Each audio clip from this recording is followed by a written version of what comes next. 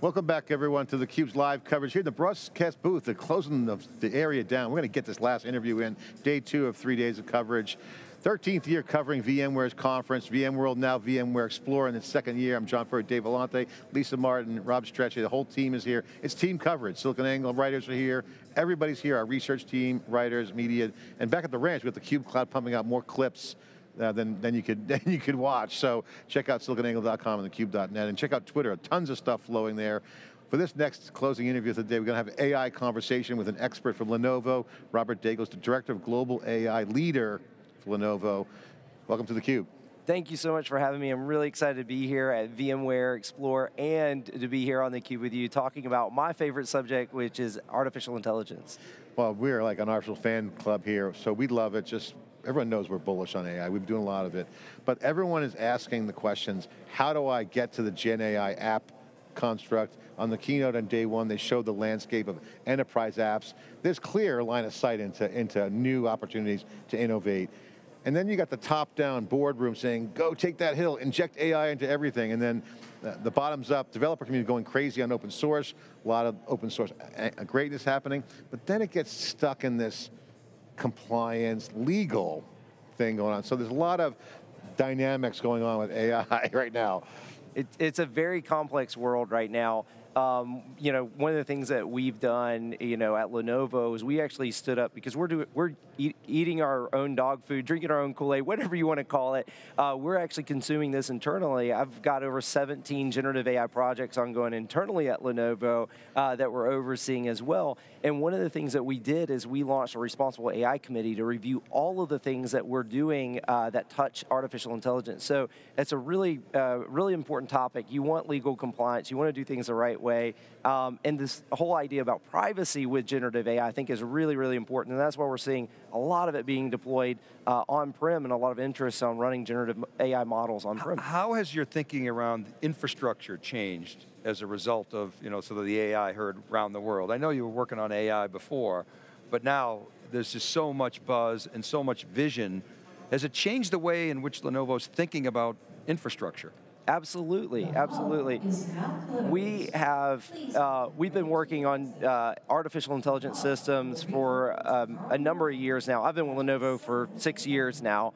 Um, and when we launched our AI strategy, so we've been building uh, AI, purpose-built AI systems from that point on, I've been working in artificial intelligence systems uh, for about a decade now, um, and it's it's becoming so so critical uh, to focus on the performance of the infrastructure. It really matters now, especially when you're getting into really large model sizes that that require a lot of compute performance. Uh, the compute matters more now than ever uh, with artificial intelligence.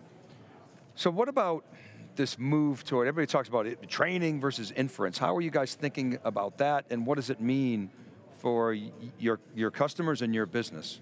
Absolutely, so you know, inference is going to be about four times the market size of training long tail. Yes. So totally agree with that. huge market. the, the really great thing about it is the, the, the inference uh, models that we're seeing run really well on PCIe accelerators, right? So you can take you know, GPUs in common general purpose systems and get started with inference today. You don't need bespoke, custom uh, uh, infrastructure to start deploying inference models today. And that's really great news for industries that are looking at, and companies that are looking at adopting generative AI. They can get started deploying inference models today and start seeing value from it without having to train up their own bespoke foundation model. We just wrote a piece um, and we used some data from our, our, partners ETR and it showed, I was just showing it to you, it like literally a 50-50 split between customers saying we're going to run on private infrastructure and we're going to run on public infrastructure. Now, the cloud vendors, they have the advantage of speed and they've been at it for a while, you know, AWS SageMaker, but the legal compliance issues, like it's, it's, they call it FUD, but it's real fear, it's uncertainty, real. It's and doubt. definitely slowing and down. So it's legit, right? So that's the advantage.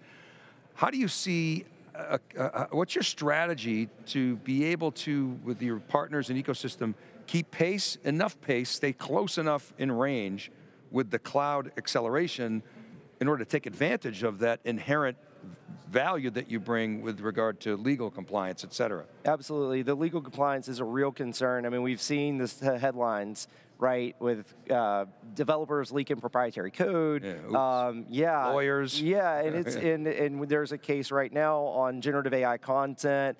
That's going to have huge implications if it goes up to the Supreme Court. So the legal concerns are real. Running it on prem at least gives you a lot of control over what goes into those foundation models and what comes out of it, and that you own it. You, at least it's you know within your control.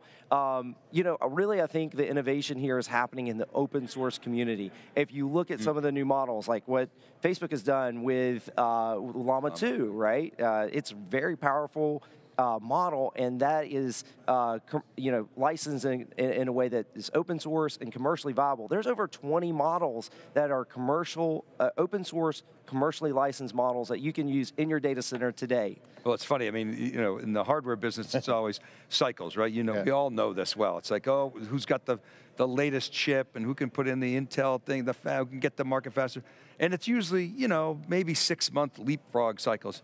Now it's like with these these foundation models, it's like every week. weeks. There's a every two weeks. There's It's a new, insane. a new. yeah, I just I was reading and and the speed that is coming from research, from a research paper into like something that we can use is happening in in matters of weeks and months, not years, uh, like what we used to experience. And so I read a recent paper that was fine tuning an alpaca model and some of the optimization that's been done uh, on bringing those models down into smaller and smaller compute footprint.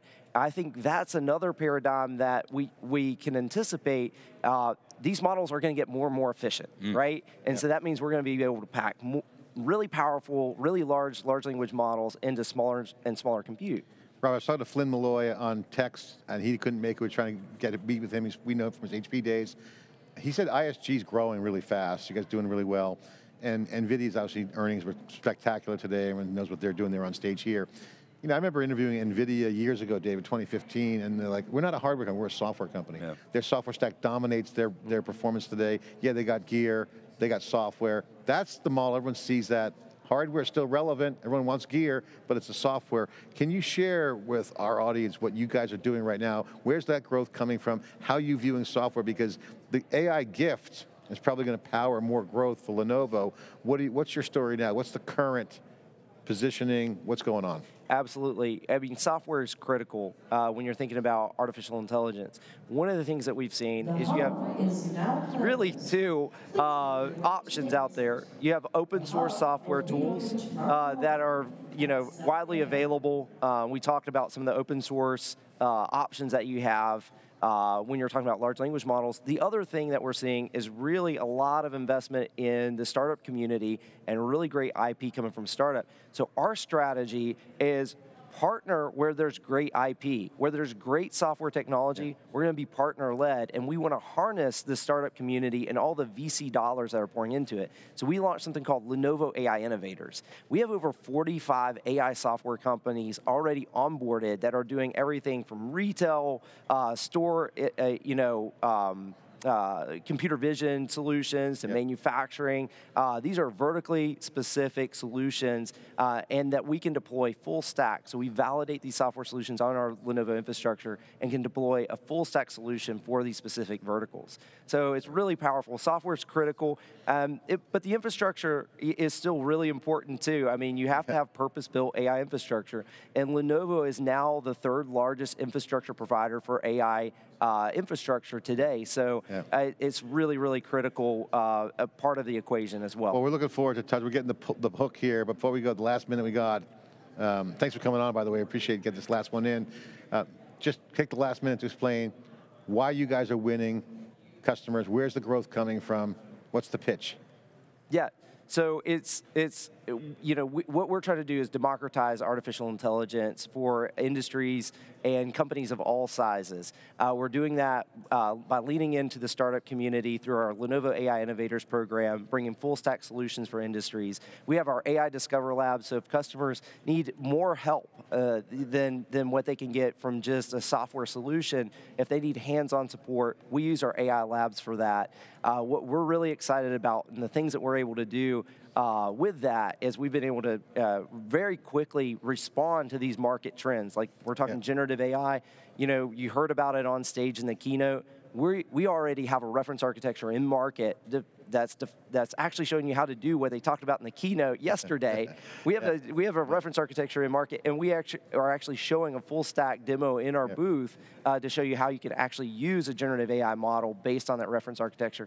Uh, so it's just about being able to respond quickly uh, to these new uh, paradigms in the industry. And that'll become a solution, you know, potentially a SKU. or- Absolutely. yeah, all right. Yeah. All right, hurry up. yeah, yeah, yeah. Somebody's over your shoulder. yeah, exactly. exactly. Well, great to have you on. Obviously, we're doing some great research in AI. We're plugging it in there. We recognize what you guys are doing. A lot more to the Lenovo story. We're going to have to unpack, so we're, we're going to have to follow up and get the briefings. Love that. Love the tailwind. How AI can really change the landscape. Thanks for coming on. Robert. Absolutely. Thank you so much for having me. Appreciate it. Okay, that's a wrap on day two. We're getting every every ounce of Cube data we can get to you. This is the Cube's what we do. We get the content, we get it out there, and we'll let AI take care of the rest. I'm Squeezing the lemon. with Dave Vellante. Can squeeze every piece of data out of that juice. Thanks for watching. See you tomorrow. Day three. We'll be right back.